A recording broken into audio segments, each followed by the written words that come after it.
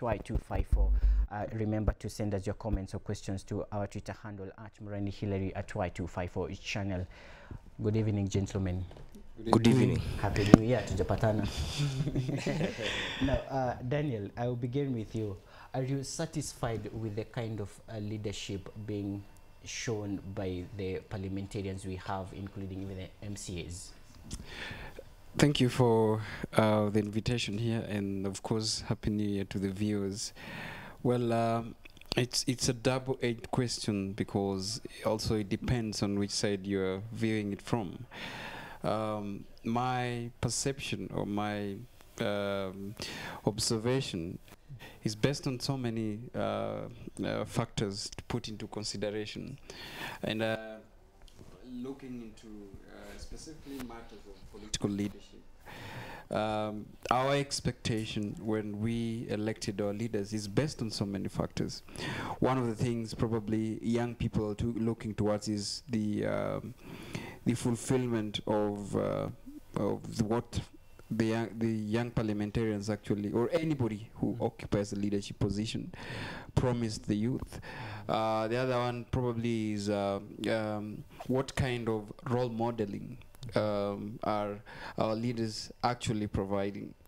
So uh, speaking about um, our parliamentarians, and of course we are having bodies like Young Parliamentarians Association, which is quite difficult to uh, look into through what they have actually done in satisfaction of the expectation of young people.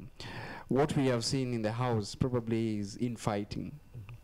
Uh, you saw uh, Babu Owino and Jago exchange, uh, you know, titles, and uh, probably a number of young people uh, uh, that we actually should emulate when it comes to leadership. But on the other side, we've also seen young parliamentarians and young political leaders. Uh, for example, Kibra, member of parliament, people who are worth emulating, Senator Sakaja. So it's a double-edged question, uh, and that's why I said it depends on which side um, uh, a young person is looking uh, it from, or the expectation of young people. But generally, I think um, uh, in a scale of one to 10 uh, probably I would rate the expectation to four. Uh, to be very honest with the work that they have done um, in in parliamentary leadership. All right, before I get to your Kariuki, uh, you just spoke of uh, Sakaja Daniel. Uh, do you think he is more vibrant as he was when he was an MP?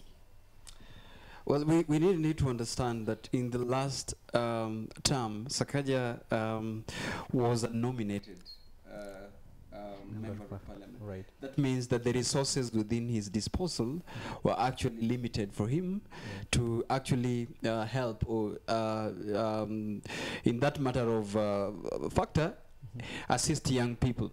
But right now he is within um, the electorate, he is within the leadership. Uh, not only um, in Nairobi, but you see Nairobi is a hub, is a capital center, and there is much expectation with probably a budget of 35 billion.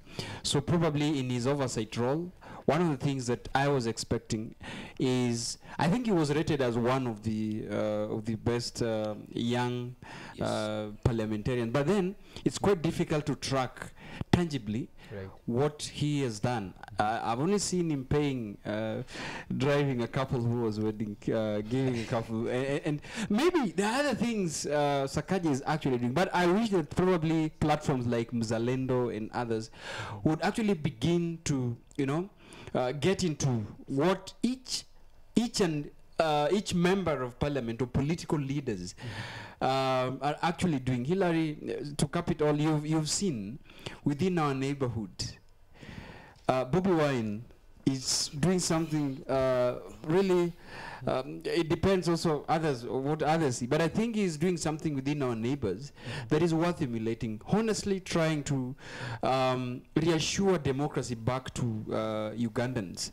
Uh, we are having. Um, down in South, South Africa, uh, where we're having Julius Malema actually trying to, you know, um, uh, with his political party, uh, create a space for democracy, fight uh, racism, but as well creating a space and voice for young people.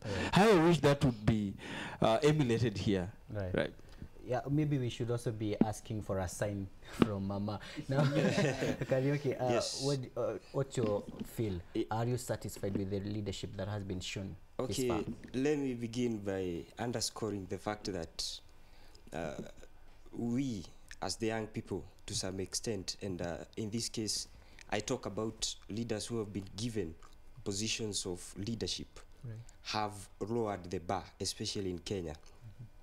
But to look at it from what I call a prismatic angle, on the other edge, we have uh, governments which have made sweet the rhetoric that the youth are the leaders of tomorrow. Right. But the commitment to the fruition of that is not in the spirit of what they say. They don't uh, actually mean what they say. There is no effort to make sure that those who are young, and in this, in this case, I'm talking about 35 years and uh, below, Right. get what is rightfully theirs. As we speak right now, across Africa, the young people are always the strongest in health. But if you look at economically, they are the weakest. Because there is a crop of leadership, the pioneering crop of leadership, which thinks that these people are a threat to our future endeavors in politics.